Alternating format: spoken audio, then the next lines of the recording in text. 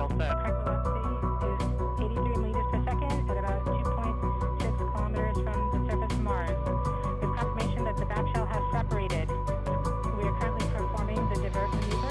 Current velocity is about 75 meters per second at an altitude of about a kilometer off the surface of Mars. TRN Safety Bravo. We have completed our terrain relative navigation.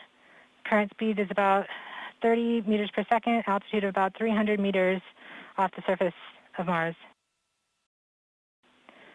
We have started our constant velocity accordion, which means we are conducting the sky crane, about to conduct the sky crane maneuver. Sky crane maneuver has started, about 20 meters off the surface.